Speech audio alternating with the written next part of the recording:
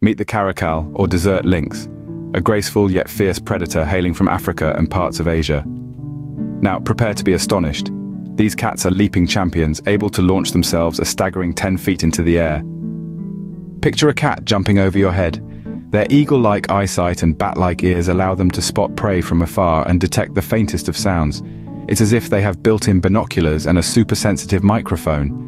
Caracals are silent stalkers with paws so soft they barely make a sound, giving them a distinct advantage when hunting. As desert dwellers, they're adapted to harsh environments, drawing water from their prey and conserving energy in the blistering sun. Unlike other cats, caracals store their kills in trees, much like leopards. Talk about organized. And while commonly found in deserts, some thrive in high-altitude mountains. These cats are more adaptable than you might think. Remember, you're listening to the fascinating world of the caracal,